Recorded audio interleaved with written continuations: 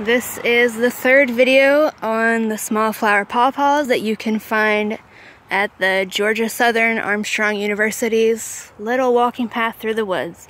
It is April 2nd, 2022, and for reference, this here is light post number 11.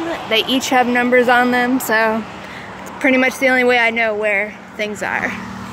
This is also the section where the fence by the road is pretty open and then there's a field on the other side there. Oh, I'm passing it. Alright. This is the biggest pawpaw that I have found here. And it's in front of this oak tree here. I'm not sure what kind of oak tree this is, but it's pretty big. So, alrighty. So this one is a great example of how these plants look. I'm not sure if it'll focus. I might just have to hold it with one hand. Oh shoot, I knocked off a flower. I'm sorry, plant. Alright, so there's one flower.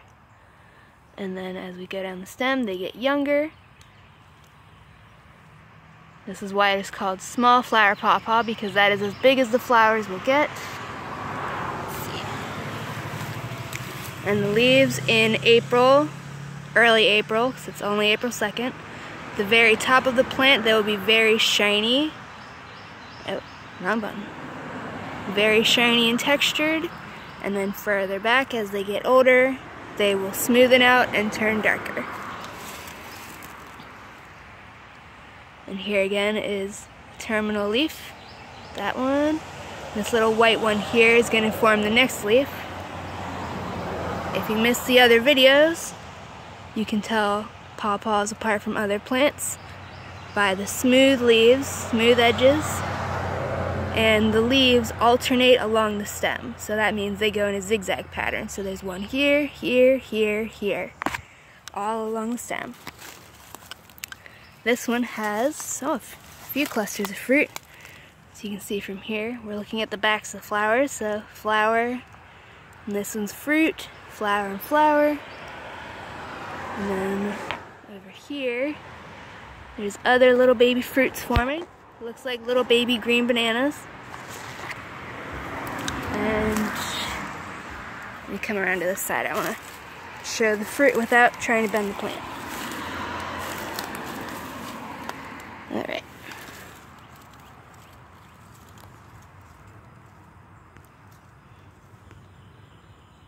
There we go. There's a little cluster of fruit that's newly forming. Here's the flowers at the top. Let's see this other side here. Yep, we got some little fruits forming here too. And there's some here as well, next to another mature flower. There's little fruits there. There's fruit here. The little flower.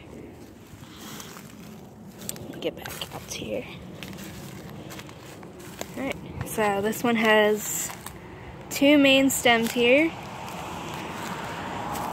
And then later in the year, it'll get bigger, darker green leaves. All right. Here's some more, oh, here's some more fruit over here with a little ant. I think the ants are helping to pollinate it as well, so. Pawpaws are you? Yeah, they definitely are. Here they are on this flower. If it'll focus. Yeah, there's little ants crawling in there, so they're helping to pollinate it. Pawpaws are usually not pollinated by bees. So, there's some more fruit there. So it looks like this will be a good year for pawpaws. And as a little bonus, there's a little, let me get the camera in focus a little tiny bug right here. Not sure what kind it is, but it's cute. Okay.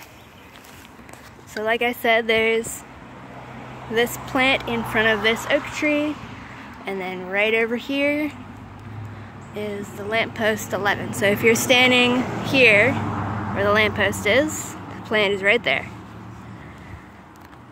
Alright, so that is the third video April 2nd, 2022, blah, blah, blah. Bye-bye.